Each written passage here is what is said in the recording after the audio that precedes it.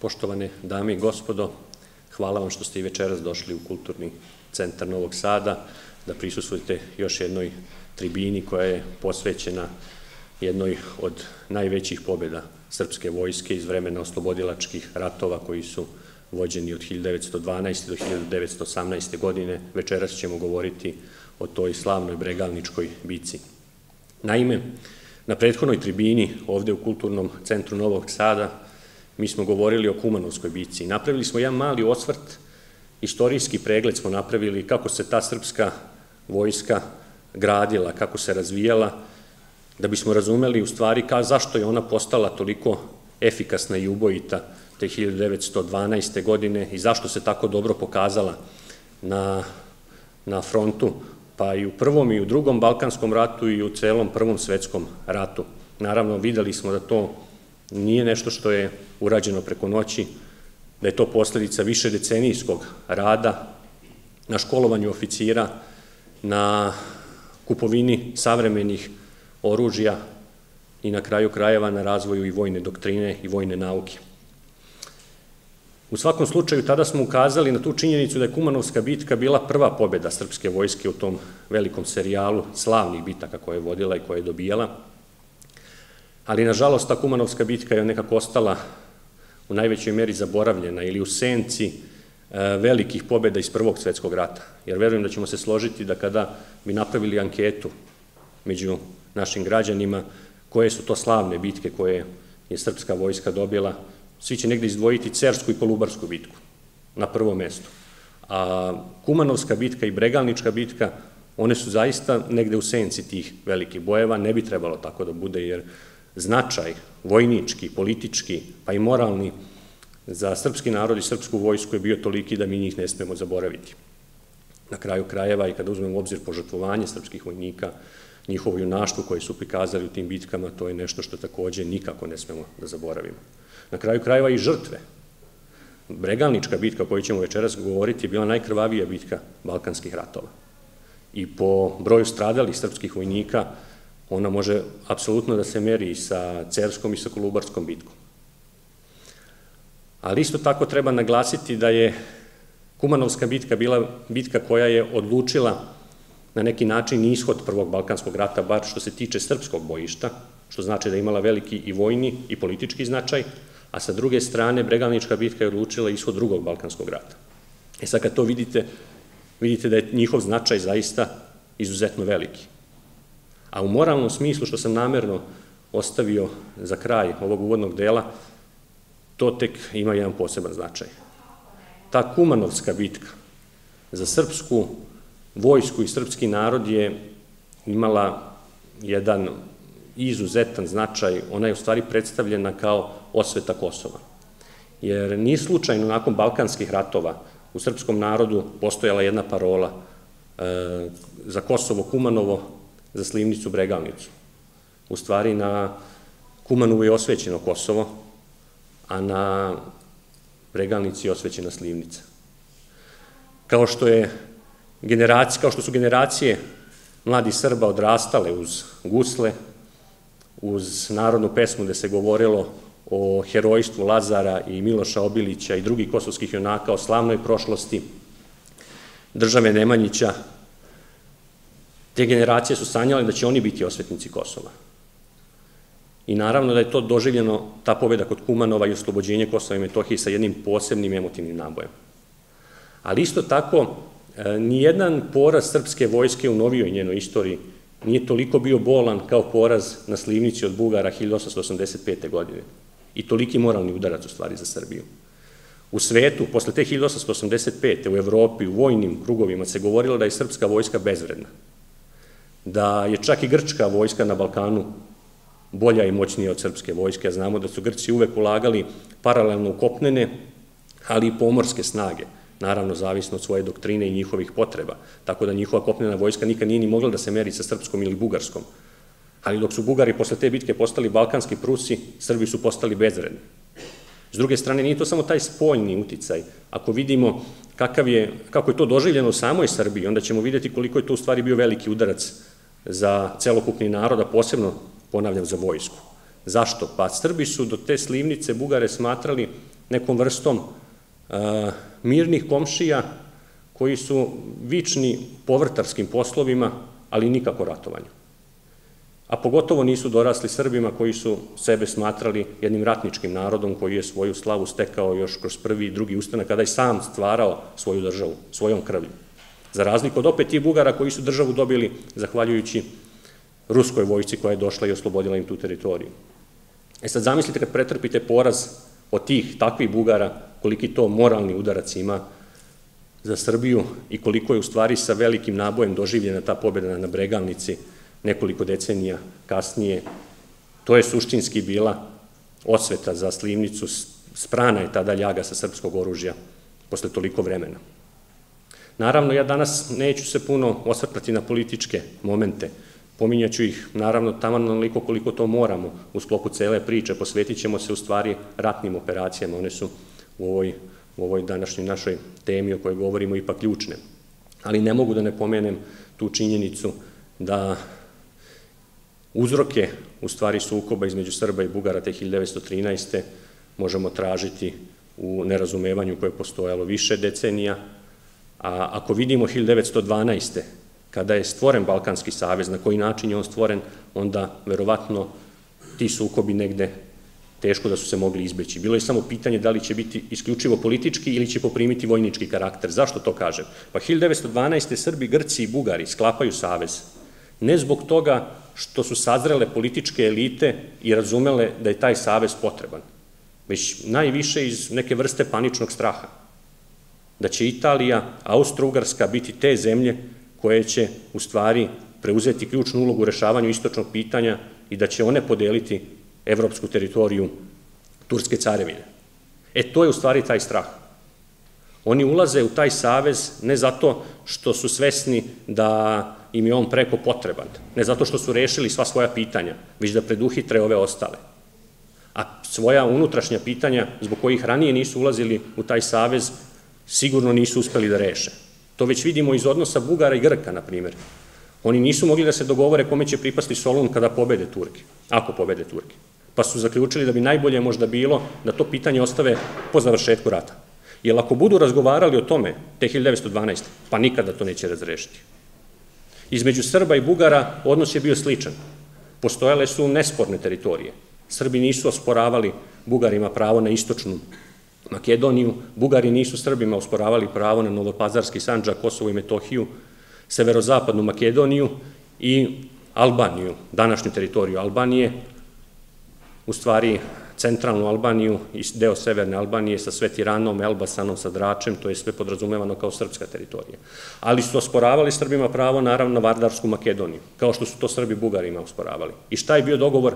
Pa ostavit ćemo to posle rata kad se rat sa Turcima završi, onda ćemo to raspraviti, čak uz pomoć ruskog cara ili rusku arbitražu, jer je Rusija naravno igrala u stvaranju Balkanskog saveza značajnu ulogu i to je dobar primer da i velike sile ponekad mogu odigrati zaista konstruktivnu ulogu kada je u pitanju ovaj naš prostor, ne samo da nas zavađaju, nego da i postiču našu saradnju, pa makar ona bila i u njihovim interesima. Ali uglavnom, već iz toga vidimo da je do sukoba u svakom slučaju moralo doći. Jer kad se završio taj prvi Balkanski rat pobedonosno, na mirovnom konferenciji u Londonu odlučeno je da se stvori Albanija kao nezavisna država. To je samo te sukobe dodatno pogoršalo. Zašto? Jer Albanija se stvara na teritoriji koja je trebala pripasti naravno Srbiji. Strateški Srbija gubi važan put za izlazak na more, Luku Drača. Samim tim Srbija od Bugarske traži reviziju, čak i formalno je zatražila reviziju sporazuma, gde ona u stvari traži nadoknadu u tom spornom delu Makedonije. Ali jedino traži da zadrži teritorije koje je onako sama oslobodila, koje drži trenutno svojom vojskom. Ništa više. Postoji jedan ozbiljan problem. Srbiji je u tom trenutku savez sa Bugarskom potrebniji nego što je Bugarima taj savez sa Srbijom. I toga su svesni Srbi i Bugari. Zato Nikola Pašić, uprkos što ima snažan pritisak vojske, da uopšte ne pregovara sa Bugarima, da ne ide pred Rusiju, da ne ide na arbitražu, je svestan da mora ići na tu arbitražu. Zašto? Srbija najveći strah u tom trenutku stvari ima od Austro-Ugarske.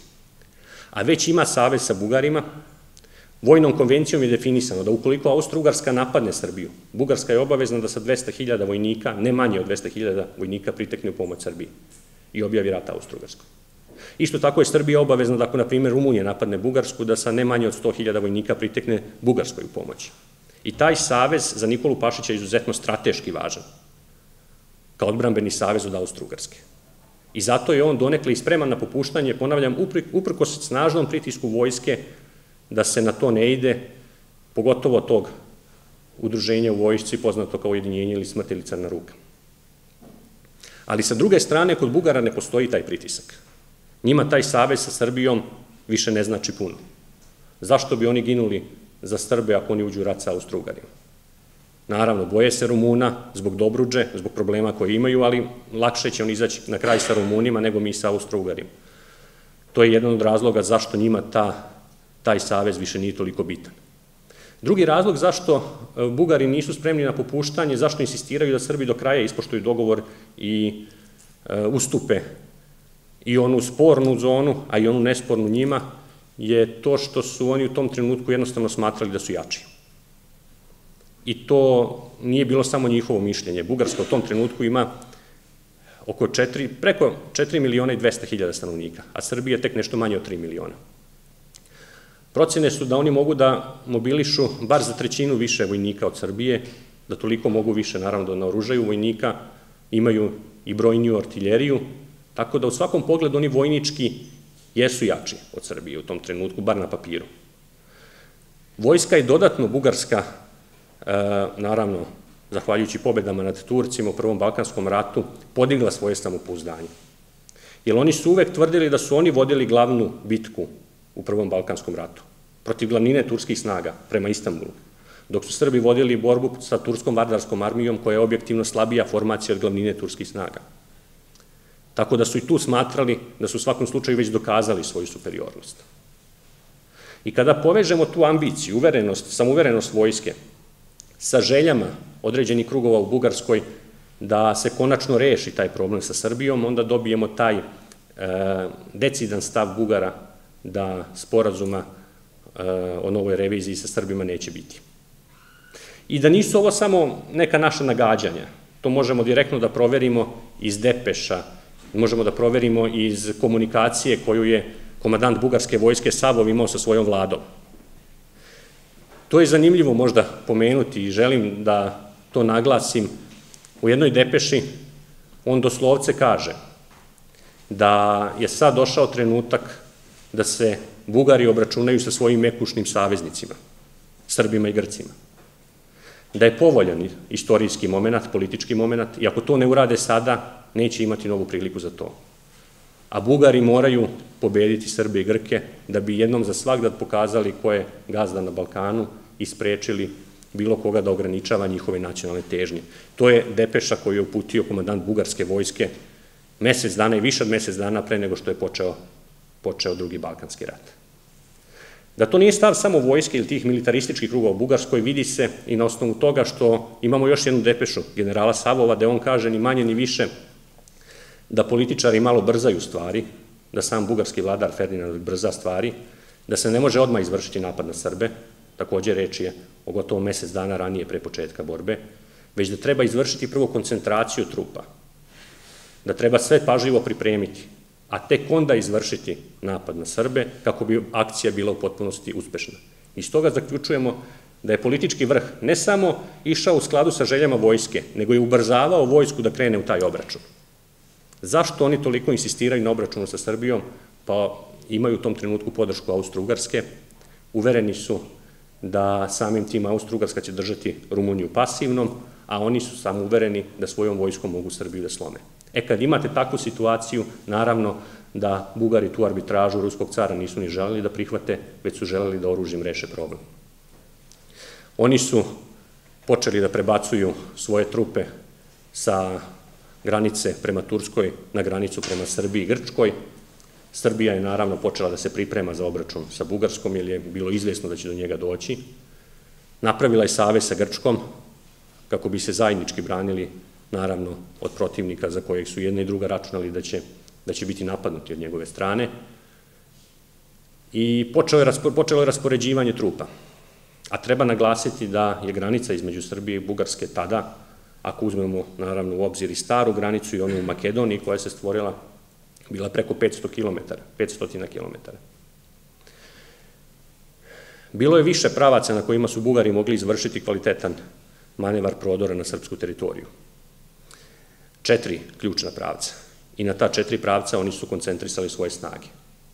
Prvi pravac koji je bio pogodan za napad na Srbiju je bio u Podunavlju. U stvari od Vidina prema Zaječaru pa dalje naravno Podunavljem prema Beogradu. Tu su rasporedili svoju prvu armiju, snage 60.000 vojnika, a naspram nje je bila raspoređena srpska timočka vojska Vukoma Naračića koja je imala u tom trenutku oko 40.000 vojnika. U njenom sastavu je bila kao najjača formacija u stvari šumadijska divizija drugog poziva, a mislim da i samo to, kad vam kažem šumadijska divizija drugog dugog poziva, to znači trupe koje su i slabije naoružane, trupe i koje su starije, da vam to govori o tome da to nije smatrano da će biti glavni, glavno poprište boja. S druge strane, drugi, drugo mesto gde se moglo e, na najbolji način izvršiti proboj na srpsku teritoriju bilo od Sofije prema Pirotu i Nišu dalje.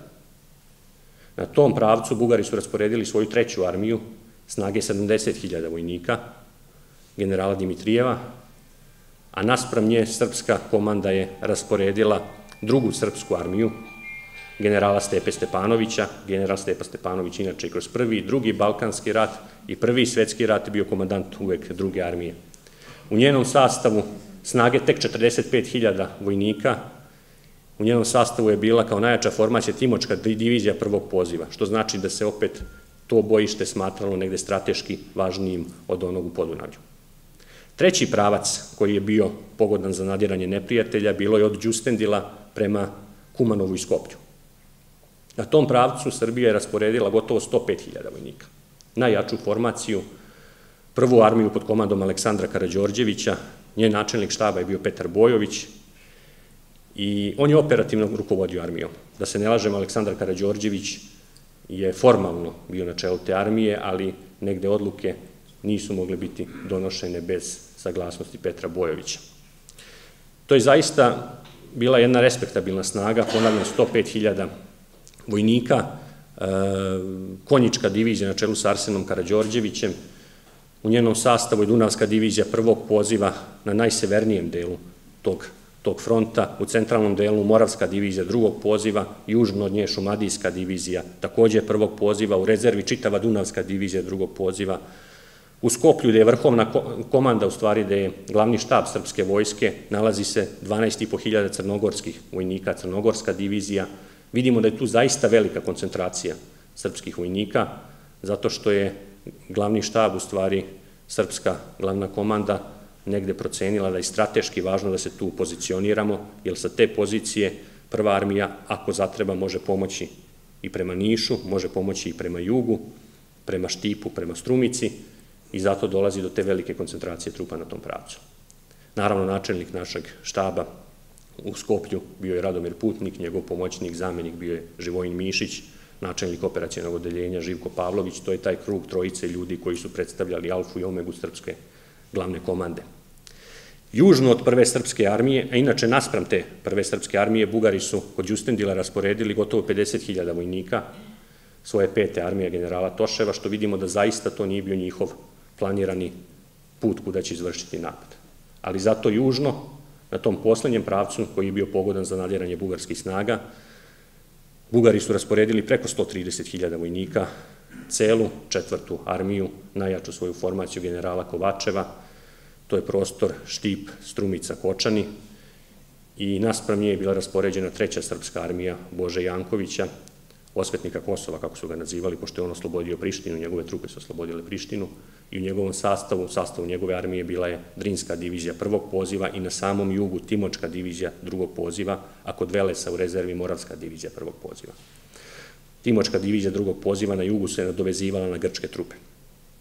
Prema Grcima Bugari su rasporedili drugu armiju generala Ivanova i 100.000 vojnika. Iz ovog rasporeda vidimo da su Bugari već u startu imali nekih 40.000 vojnika naspram Srbije više nego što je to više nego što je raspolagala Srbija. S druge strane, Srbija je morala nekih 50.000 vojnika da ostavi na Kosovu i prema Albaniji, strahujući od eventualnog napada Austro-Ugarske ili strahujući od napada iz Albanije koji bi organizovala Austro-Ugarska. Tako da je Moravska brigada jačine 10.000 vojnika ostala kod Bitolja, a na Kosovu je ostala čitava Drinska divizija drugog poziva sa 40.000 vojnika. Naravno da je to bilo značajno slabljenje srpskih udarnih snaga, ali to se moralo uraditi. Uglavnom, na osnovu tog rasporeda vidimo da su Bugari računali na napad pre svega svoje četvrte armije, a Srbija je procenila da će se odsudna bitka voditi, ispravno procenila srpska komanda, na prostoru Makedonije, u stvari na prostoru strateški važnog, strateški važne visoravni Ovče polje. Ovče polje je prostor gde se ukrštaju putevi u Makedoniji, e, pogodan za napad, ali pogodan i za odbranu, kako bih rekao. E, brežuljkast teren sa gomilom malih rečica, potočića, ali isto tako i prostor na kome može da se razvije ogromna armija ako želi neko da napada, ali ako neko želi da se brani, može da iskoristi taj reljef za odbranu. Naša komanda svesna da će se tu verovatno odigrati ključna borba je mesec, mesecima unazad utvrđivala taj teren. Stvorene su dve linije odbrane. Druga linija je bila posebno utvrđena, pravljeni su naravno i zakloni za pešadiju, gotovo svaki brežuljak je utvrđen, inženjerci su pravili puteve e, za, kako bi bili obezbeđeni za brzo prebacivanje oružja, municije, artiljerije, gde bude trebalo, tako da do perfekcije odbrambene linije su izvedene. Prve su linije bile nešto slabije od drugih i samim tim negde do, do početka sukoba u našoj komandi nije bilo jasna odluka da li ćemo prihvatiti bitku na prvoj liniji ili na drugoj liniji. Ali to će se odlučiti u toku same bitke. S druge strane, Bugari su imali ideju da izvrše jedan jak napad četvrtom armijom na, srpske, na srpsku treću armiju, koja je bila značajno jača, naravno, bugarska četvrta od srpske treće. Srpska treća armija imala tek 70.000 vojnika, nastrom 130.000 bugarskih vojnika, bez objave rata, da se postigne faktor iznenađenja i onda da se u što kraćem roku pregaze srpske trupe, nateraju na povlačenje i da se preuzme ta sporna teritorija Makedonije. Što znači da cilj Bugara nije bio uništenje srpske vojske, nego njeno proterivanje u što kraćem mogućem roku. I u skladu sa tim oni su i postavili svoje trupe. Naravno, treba naglasiti da do samog dana izbijanja sukoba između samih vojnika, koji su inače stajali mesecima jedan, jedni naspram drugih, je trajala komunikacija. Čak dan uoči izbijanja sukoba e, su srpski i bugarski vojnici razgovarali o tome da li će biti rata ili neće i nadali se da neće biti tog rata. Veče to, pred sam sukob, nekoliko sati pred sukob, srpski oficiri su bili u štipu na poziv bugarske komande na neki banket koji su organizovali. To znači da je bila želja da se uvere da do tog sukoba neće doći. Izbile su čak i dve pobune u bugarskim pukovima kada su dobili naređenje da će krenuti u rat protiv Srbije, zato što nisu želeli da ratuju sa onima sa kojima su dojuče ratovali zajedno protiv Turaka, ali bukvalno do samo par, pre par meseci srpske i bugarske snage su zajedno zauzimale Jedren. Naravno, Bugari su te pobune brzo ugušili i pripremili sve za napad koji je počeo tog 30. juna, rano ujutru, u dva sata posle ponoći. Ideja je bila da se puške ili da se municija ne koristi dogod ne priđu što bliže srpskim rovovima, ako je moguće čak da se srpske predstraže eliminišu hladnim oružjem i noževima, da se ne uzbune ostale srpske linije. Međutim, general Kovačev u startu ubacuje gotovo sve raspoložive snage. Tek nekoliko pukova od 130.000 vojnika on ostavlja u rezervi i sve ih pušta naravno preko bregalnice prema srpskim trupama, tako da to nije moglo ostati sakriveno, naravno, možete zamisliti kada hiljade vojnika marširaju kroz vodu. To je buka koja je bila upozorenje za sve srpske vojnike, a na nekim mestima Bugari nisu krili da će izvršiti napad, čak su uz e, vojni orkestar i zvuke svojih himne marširali, naravno, prema srpskim trupama. Srpske trupe, ponavljam, samim tim nisu u na najvećem delu fronta bile iznenađene, već su već na prvim linijama prihvatili tu borbu i već u prvim satima došlo je do izuzetno teške borbe, krvavog okršaja koji je odneo stotine i hiljade života. Suština nadiranja bugarskih snaga je bila, ponavljam, u ideji da se brzo ostvari taj uspeh. Međutim, već u startu su naišli na ozbiljan problem, a to je ogorčen otpor srpskih predstraža, srpskih prvih jedinica koje su uspevale da ih zaustave. Najjači udar je u stvari bio na Drinsku diviziju prvog poziva, koja je bila značajno nadjačana u tom prvom naletu bugarskih snaga i koja je trpela najveće gubitke. Gubici su bili toliko dramatični da je njen komadant, pukovnik Hadžić, morao da ubaci svu rezervu gotovo u roku od nekoliko sati u bitku. Ali ne samo to, on je odmah od svog komadanta, komadanta Treće armije Boža Jankovića, tražio podršku Moravske divizije prvog poziva koja je, koja je bila raspoređena u štipu rezervi. I na sreću Boža Janković je razumeo u tom trenutku da se ipak radi o jednom snažnom bugarskom napadu, pa je gotovo celu Moravsku diviziju uputio na položaj Drinske divizije prvog poziva. U poslednjim momentima, pre podnevnim časovima tog 30. juna, kada su već isturene jedinice Drinske divizije e, bile desetkovane, kada su neke već počele da se povlače, u tom poslednjem momentu Moravska divizija prvog poziva je stigla bukvalno u jednom usiljenom maršu da uleti u te robove Drinske divizije prvog poziva i da pomogne njihovu odbranu. Zahvaljujući toj pravovremenoj reakciji, to pre podne, praktično do 12 sati, zaustavljeno je nadiranje bugarskih trupa na tom pravcu, a da nisu ostvarili nikakav značajniji uspeh za uzimanjem nekih kota koje su imale taktički, ali ne i strateški značaj. Zauzeli bi jednu kvotu, ali ne bi, ne bi mogli da nastave napredovanje, jer su već bili blokirani na drugim delovima fronta. Naravno, usled velikih gubitaka, Boža Janković već tada je predlagao e, svojoj komandi u Skoplju da se povuku na rezervne položaje, shvativši da mu je Drinska divizija već uveliko desetkovana, dobijajući informacije da Timočka divizija na jugu trpi strašne gubitke, i to je zaista bilo tako, Bugari su tu čak izvršili proboj skroz do Vardara, odsekli Timočku diviziju od Grka u potpunosti, iako je to negde srpska komandija, komanda i predvidela da će do toga doći, pošto Grci svoje pozicije tu nisu ni ojačali, tako da to nije puno zabranjavalo srpsku komandu, ali Timočka divizija drugog poziva je u tom trenutku imala odnos 2 naprema 1 ili 3 naprema 1, a morala je da sačuva svoje pozicije. Ako bi izgubila svoje pozicije, Bugari bi zašli bukvalno u pozadinu srpske cele treće armije i to bi bilo katastrofalno. Kao, da je, kao što i da je Drinska divizija kojim slučajem popustila u tom trenutku, srpska treća i prva armija bi bile potpuno razdvojene i treća armija bi bila izolovana i potpuno tučena u tom trenutku. Tako da je to bila jedna važna strateška odluka da Moravska divizija zaštiti taj pravac. Taj dan su pristizale naravno informacije u Srpsku vrhovnu komandu i posle negde četiri popodne Radomir Putnik je već bio dosta optimističan s obzirom kakve su vesti stizale sa fronta, da su srpske divizije uglavnom uspele da zaustave Bugare na svim pravcima, da je ugrožena Timočka divizija drugog poziva, da se i ona dobro drži. I onda je došlo do te rasprave šta činiti dalje. Boža Janković je zahtevao povlačenje na rezervne pozicije, imao je, bilo je pristalica koji su se zalagale za tu opciju, Živojin Mišić je oštro zahtevao da se održe te isturene pozicije na prvim linijama, jer je znao da su Bugari u naletu, iako kojim slučajem krene povlačenje srpske vojske, to će im dati dodatni elan, poljuljaće moral srpskih vojnika. Radomir Putnik posle kraćeg razmišljanja priklonio se Mišićevom stavu, izdao naređenje Boži Jankoviću da nema odstupanja i da se pod svaku cenu brani ta prva linija fronta ili prva linija odbrane što je Boža Janković na kraju i ispoštovao. Isto tako, Radomir Putnik već taj prvi dan donosi drugu važnu odluku koja će se ispostaviti strateški važnom, odlučuje da izda naređenje prvoj armiji koja nije bila izložena snažnom napadu, jer Bugari iz pravca Đustendila uopšte nisu operisali proti srpske vojske. On je izdao naređenje prvoj armiji Aleksandru Karadžorđeviću i Petru Bojoviću da zaštite pravac prema Đustendilu, a da sa Šumadijskom divizijom prvog poziva i Moravskom divizijom drugog poziva izvrše napad u bok Bugarske četvrte armije. Kako bi naravno rasteretio ostatak Srpskog fronta. To je sve planirano za sledeći dan.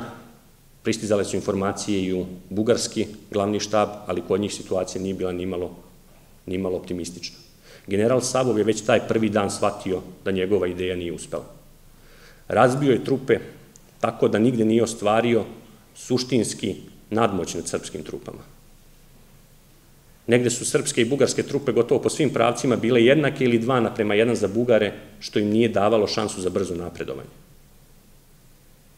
Tako da, vidjevši šta se desilo i da za jedan dan nije ostvario gotovo nikakav napredak, on je već se nadao da će doći do izmirenja. Vlada Bugarska je predlagala da i dođe do tog pomirenja, međutim, bugarski vladar Ferdinand je to odlučno odbio, tvrdnjom da će, verovatno uveren da će Austro-Ugarska ući u rat i da će pomoći bugarske napore i da će time biti razrešena bitka. Tako da je čak taj sledeći dan bitke došlo do razgovora između Srba i Bugara na samim linijama fronta. Bugari su dolazili, parlamentarci dolazili da predlažu da dođe do obustave sukoba. Za Timočku diviziju drugog poziva to je bilo spasonosno, jer su oni bili u najgoroj poziciji. Tako da su dobili neko vreme i mira, šanse da se pregrupišu. Ali uglavnom, ubrzo na intervenciju bugarskog vladara, ti pregovori su prekinuti i borbe su nastavljene dalje. Savov, videvši u kakvoj se situaciji nalazi, da je zaustavio njegovo napredovanje, odlučio da ima jedinu mogućnost da uvede i tu petu bugarsku armiju, da ona izvrši napad na prvu srpsku armiju, a s druge strane da i sve snage napadne Timočku diviziju drugog poziva, ne bili na taj način slomio krila srpske vojske, probio prema Skoplju i prema Vardaru i na taj način potpuno u Makedoniji okružio srpsku prvu i treću armiju. I tu počinje taj zaista dramatičan napad na Timočku diviziju drugog poziva, sledeći dan. Ona je nadječana gotovo 3 naprema 1 posle toga, ali naredna 4 do 5 dana oni će pružati ogorčeni otpor. I to su drugopozivci, to treba naglasiti. Oni od kojih se to nije toliko očekivalo. Ipak su armije prvog poziva, divizije prvog poziva bila one od kojih se to najviše očekivalo ali oni su uspevali u takvim okolnostima da zadrže napredovanje neprijatelja i samim tim zaštite bok svojih glavnih snaga. Time su dali vreme prvoj armiji da izvrši taj udar u pravcu Bugarske četvrte armije, koji je bio, na kraju krajeva će se ispostaviti ključan. Slamajući naredni dan prve linije odbrane bugarskih snaga, terajući ih na povlačenje prema Kočanima, prema Štipu, Bugari su se našli u nimalo zavidnoj situaciji. Sada oni ne uspevaju da okruže srpsku vojsku, a njihova sredina, njihov centralni deo fronta popušta. Da stvar bude dramatičnija, nekoliko dana kasnije doživeće porazi protiv Grka koji će krenuti prema, naravno, severu, što će ugroziti samu njihovu četvrtu armiju i njihovu drugu armiju, njihove najjače formacije. Ali u samom tom odnosu snaga vidimo da je već prvi dan i drugi dan rešen ishod Bregalničke bitke tu je odlučeno. Narednih nekoliko dana u stvari je bilo se postavljalo pitanje da li će Srbija u potpunosti ostvariti svoju pobedu time da uništi bugarske armije ili to neće uspeti. Nažalost, srpske komande to nije uspela, pre svega zato što se dosta oprezno operisalo.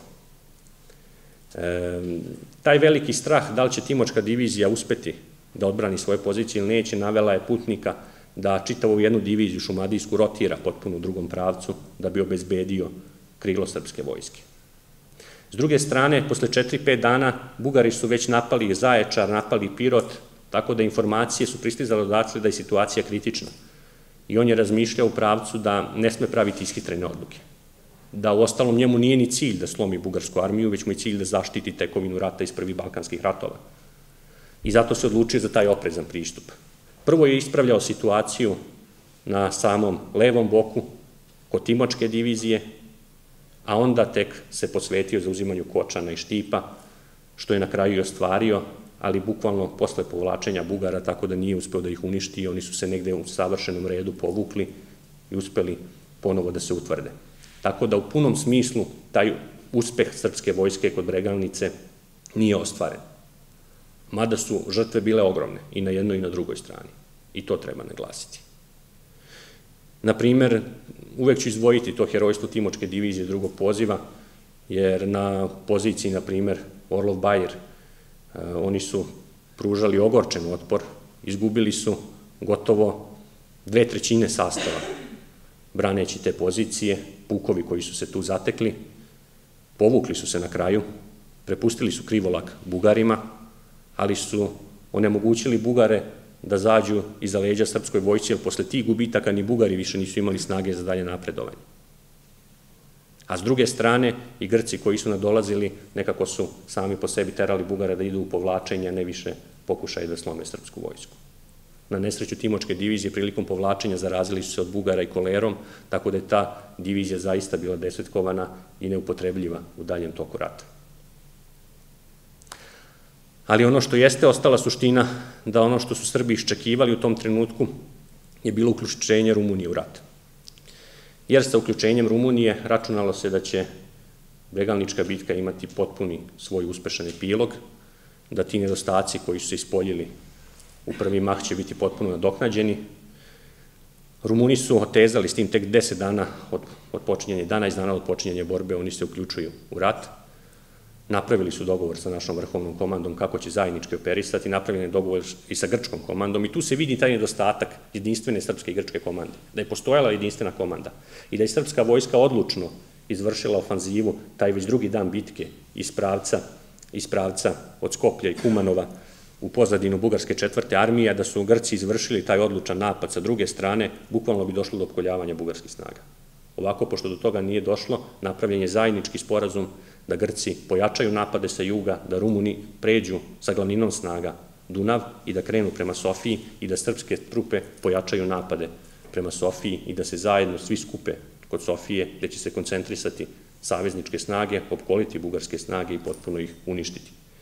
Rumuni su sa preko 260.000 vojnika prešli Dunav, bukvalno nisu imali nikakav otpor, jer Bugari su sve strupe imali naspram Srbije, uglavnom i nešto naspram Grčke. Oni su sve vreme rata napredovali bez otpora i kada je trebalo doći do prve bitke koju će voditi, tu se rat praktično završio. Na intervenciju Nemačke i Austro-Ugarske Rumuni su morali da zaustave svoje operacije, iako su imali 6000, ako se ne varam, stradalih, ali stradalih od kolere. U bitkama nije niko ni stradao gotovo, ili nekim sporadičnim okršajima stradalo je možda stotinjak ljudi. Tako da, Bugarsko je na kraju, kako je to naš proslavljeni general e, Živko Pavlović govorio, spasila u potpunosti intervencija E, velikih sila da ne doživi katastrofu kakvi su Francuzi doživjeli kod Sedana od pruske vojske. Jer zaista je za Bugare sad situacija bila toliko kritična. Naravno, kasnije su vođeni mirovni pregovori u Bukureštu, Srbija je sačuvala tekovine svog rata, Rumunija je dobila ono što je želela, Grčka je sačuvala svoje tekovine, a Bugarska je pretrpela katastrofu, možemo slobodno reći, jer oni dobici koje su dobili su plaćeni izuzetno skupo. Rezultat tog rata bio je takav da je Srbija za tih nekih manje od mesec dana, u stvari nešto više od mesec dana je trajao rat, ali najteže borbe su trajale e, nešto manje, izgubila je više od 16.500 vojnika. To je značajno više nego u Kumanovskoj ili Bitojskoj bici. S druge strane, Bugari su, ne zna se tačan broj, procene govore o 20 do 30 hiljada. Naprimjer, Živko Pavlović Njegove procene govore o 30.000, neka novija istraživanja govore 25.000, ali su dramatično više izgubili, ali nikada nisu napravili tačan popis svojih žrtava. Ono što jeste važno napomenuti da je ta bitka imala za Srbiju toliko značaja da je zaista ugled srpske vojske posle toga dramatično porastao. Ona je smatrana najmoćnijom regionalnom silom oružanom. Njen ugled je bio, naravno, izuzetan, francuski oficiri u srpskom štabu ili u bugarskom štabu i isto tako i nemački, austrijski oficiri koji su posmatrali bitku, govorili su o zaista jednom superiornom i komandovanju i vođenju tih trupa. Bilo je tu propusta, propusta naravno, i ovo što sam pominjao, ova šansa da se bugarske trupe unište. Međutim, i danas ima naših vojnih stručnjaka koji će uvek reći to nije bio propust. To je bilo pažljivo vođenje rata, Jer zna se šta je cilj ratni. Nije cilj uništenje bugarske vojske. Cilj zaštita teritorije koja je zauzeta. Ili da je cilj bio uništenje bugarske vojske, potpuno bi se drugačije vodio taj rat. Zato je putnik logično odgovorio pozitivno na molbu, na molbu Boža Jankovića da zaštite Timočku diviziju, a ne da idu direktno na bugarsku četvrtu, četvrtu armiju. Ali sa druge strane, pored hvaljenja srpskog oficirskog kadra, Stranci su posebno hvalili možda i taj niži srpski oficirski kadar, te e, potpukovnike, majore i niže oficire koji su, kaže, pokazivali izuzetnu preduzimljivost. Onda kada je nedostajalo komande, oni su pokazali izuzetnu inicijativu u ključnim momentima, odlučivali ishod određenih manjih bojeva. S druge strane, izuzetno su hvalili srpskog vojnika, što je bilo neverovatno, jer sami Francuzi su objašnjavali da u jeku najžešće borbe, gde kuršumi lete svima iznad glava, gde šnapneli od granata padaju okolo tih srpskih vojnika. Oni u savršenom miru se raspoređuju za borbeni poredak, zauzimaju pozicije i kreću u svoju akciju, što je njima bilo gotovo nezamislivo, ali to govori o jednom iskustvu, iskustvu koji su oni sticali kod Kumanova i Prilepa i Bitolja, što je samo negde ovde imalo svoj, svoj epilog. I ono što su oni posebno hvalili, to su te srpske divizije drugog poziva. Moravska divizija drugog poziva, Timočka divizija drugog poziva, sami Francuzi su govorili i Austrijanci, Austro-Ugari, da im je bilo neverovatno koliko su one sposobne da ne postoji razlika u stvari između divizije prvog poziva i divizije drugog poziva. Na terenu se ne primeti ta razlika. Iako u diviziju drugog poziva često vode oficiri koji e, su rezervni oficiri. Imaju druge poslove, jednostavno su rezervni oficiri i mobilisani su kao i ovi ostatak oficirskog kadra. Ali su perfektno vodili svoje jedinice. Tako da, u tom vojničkom smislu ta pobeda je predstavljala zaista pravi triumf srpskog oružja, svakoj naravno bici. Posle bitke je lako biti general, naravno, i možemo mi naći zamerke u ponašanju srpskih oficira i srpskih komadanata gde se moglo bolje, gde je moglo i lošije, ali nije to ni poenta, oni su svoj zadatak odradili, oni su dobili tu bitku, oni su dobili taj rat, oni su podneli strašne žrtve, na primer, bilo je svedočenja da je neki devet meseci posle tih bitaka, baš na tom Orlovom bajiru, kada su ljudi dolazili, dalje su tu bili leševi srpskih i bugarskih vojnika. Čak su našli leševe u stojećem položaju, naslonjene jedne na druge, probodene bajonetima. To govori o žestini tih sukoba koji su vođeni na tom prostoru. A srpski vojnici su zaista dokazali, pokazali jedno vrhunsko herojstvo koje ih je krasilo i pre i to nakon toga u svim bojevima koji su kasnije došli. Ta bitka je odlučila taj rat Ta bitka je, kao što sam na samom početku rekao, sprala ljagu sa srpskog oružja posle Slivnice, nije zaslužila da bude zaboravljena kao što ni ti srpski heroji nisu zaslužili da, budemo zaboravljeni, da budu zaboravljeni, a mi smo eto, dali svoj mali doprinos govoreći o toj temi da, da osvetlimo i njihova dela ja sam vam zbog toga zahvalan. Hvala vam.